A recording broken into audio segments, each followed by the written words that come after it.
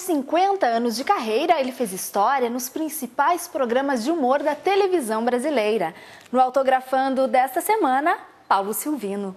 Prazer, Paulo, se receber, André, tudo é bem? um prazer estar com vocês aqui. Estou adorando a cidade, Novo Hamburgo não conhecia. Não conhecia Novo Hamburgo? Não conhecia. Vamos fazer também Sapiranga e vamos fazer Dois Irmãos. Né? E, e no finalzinho da temporada, no dia 6, eu ainda vou dar uma, um- uma canja no show do André Damasceno. André Damasceno, Quinta Alegre, né? dia 6, Em Porto Alegre. em Porto Alegre. No Bourbon, né? Exato.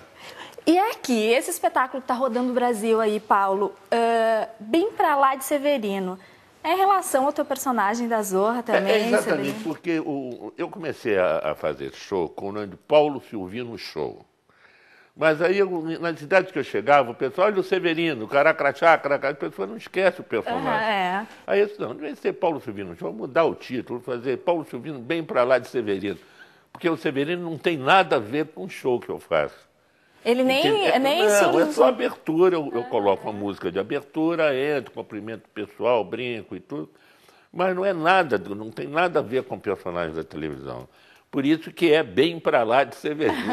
Quanto tempo já com esse espetáculo, Paulo? eu já estou com esse espetáculo há uns dois anos, mais ou menos. Rodando o Brasil inteiro. Tive em Macapá, tive em Salvador, eh, Recife, eh, Fortaleza, Natal, a- Sergipe. né? Depois vim para o sul, na- a cidade de Santa Catarina, o interior, que fiz muito, o interior do Paraná, de Santa Catarina, fiz Ponta Grossa, Joaçaba, enfim. Aí está correndo o Brasil inteiro e não vai dar tempo, né? Porque o Brasil é tão grande que Que não tem como chegar em todos é, os lugares. tem, não tem né? como conhecer o Brasil todo. Não tem como. Quanto tempo o Severino existe, Paulo? Como que surgiu o Severino? O Severino foi uma piada do Maxi Nunes, que é um dos maiores humoristas do Brasil, está vivo aí. O Maxi continua escrevendo para o Jô Soares, está com 92 anos de idade. Mas o Max inventou uma piada num programa que faltava um, um- abajur de pé e o, o- o diretor chamava o porteiro. Então, o porteiro está faltando um abajur, você fica em pé aqui, toda vez que puxar sua gravata, você acende assim. E quando puxar outra vez, você apaga. Aí você acende e apaga, acende e apaga. E é um casal conversando. Né? Eu fico do lado e tem um casal conversando né? no- no- na a cena. É um casal de namorados. Ele me dá um beijo. Eu, Não, mas o beijo eu fico envergonhado, apaga a luz. Aí ele puxa a minha gravata e apaga a luz. Eu, Não, mas eu quero ver os seus olhos. Você tem uns olhos tão lindos. Então tá bem, então acende a luz. Aí acende a luz. E aí a conversa começa a esquentar. Entende? A conversa começa a esquentar pelo lado do erotismo e coisa. E tem uma hora também. Então eu deixo você fazer o que quiser, mas apaga a luz.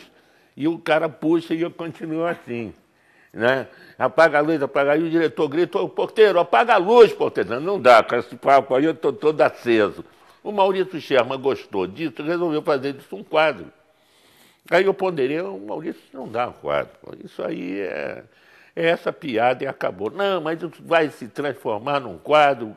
O- Pensa aí, vocês têm que escrever isso, que essa ideia é muito boa. Aí o, o Google Limesh escreveu o segundo quadro, que era o armário, o Severino era o armário. Aham. E eu escrevi o terceiro quadro, Alice no País das Maravilhas, o Severino de árvore, tinha aí é que surgiu o negócio da bichona, que o diretor faz a árvore, você fica assim, em pé, fazendo assim, se chamava, isso aí é uma bichona com, com dor na coluna. E a coisa começou aí. Né? Daquele quadro que eu achei que não ia dar nada, o quadro ficou oito anos no ar. né? É muita anos, coisa, né? Muita coisa. Ainda mais pra TV, que tudo vai mudando Muita- muito exato, rápido, né? Exato, é.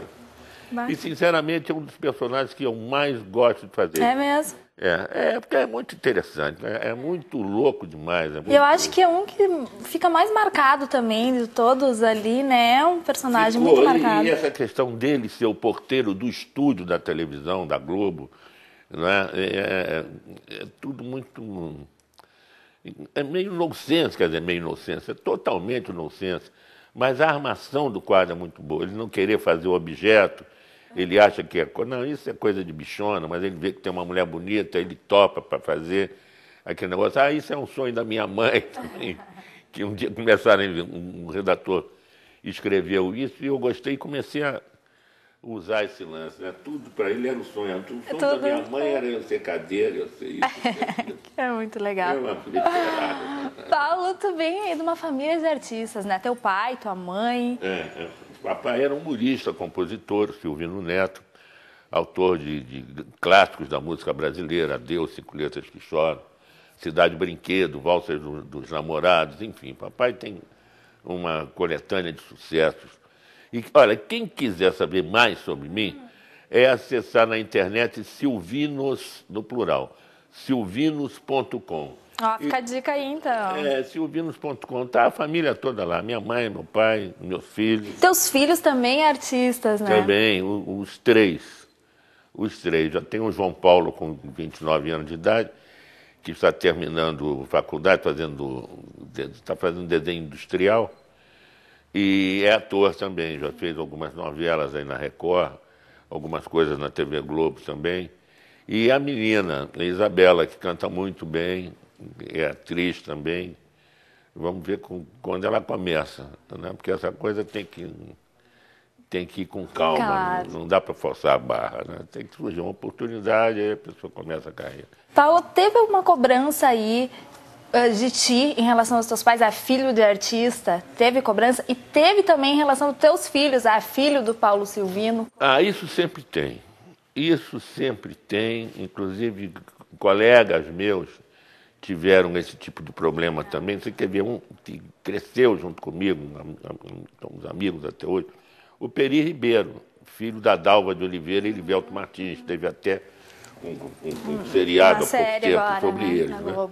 O Peri, o Peri, o, Peri ele é, é Peri de Oliveira Martins, né? o sobrenome da mãe e do pai. E ele não usa, ele passou assim, Peri Ribeiro, para esquecerem que ele é filho da Dalva, filho do, do Irivelto. Mas não adiantava nada, porque eles apresentavam ele. E agora com vocês, Peri Ribeiro, filho da Dalva e do Irivelto Martins.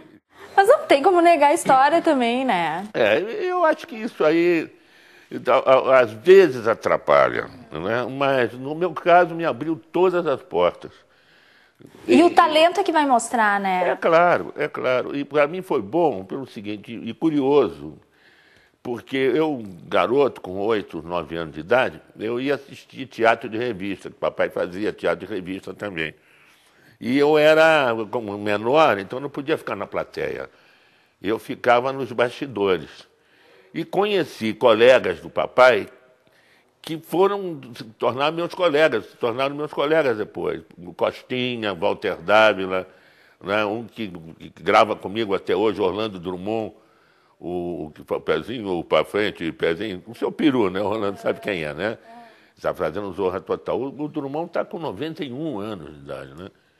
E inteirão, toma o seu vinho de noite e tudo. Colega fantástico, fantástico. E foi aí que tu teve essa oportunidade também de conhecer, assim, interagir. Pois é, então eu conheci esse pessoal todo. E estou feliz atualmente de receber eh, os novos talentos. Né? Tem muita gente começando e, e, despontando, muita gente boa. Né? A Catiusca Canora, uma surpresa maravilhosa. A Samanta, é, o, o Leandro Rassum. Né? E o filho do Chico Anísio, o Bruno Mazeu. Né? O Bruno é, é um grande humorista, né? um grande escritor de humor, porque tem esse detalhe. As pessoas geralmente chamam o comediante de humorista. Não, o humorista é quem escreve humor. O cara, às vezes, é humorista e não é ator. No caso do Maxi Nunes, por exemplo, né? que é um, para mim, continua sendo um dos maiores humoristas do Brasil.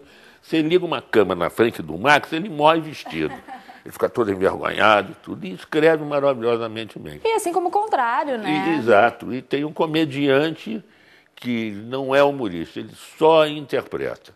Dá boas ideias, o caso do Agildo, por exemplo, é um excelente comediante. Coloca de bons cacos, cria cacos, mas é incapaz de sentar, talvez até por preguiça, de sentar num computador para escrever uma linha, escrever uma piada, não escreve. Ele dá ideia, mas ele não escreve.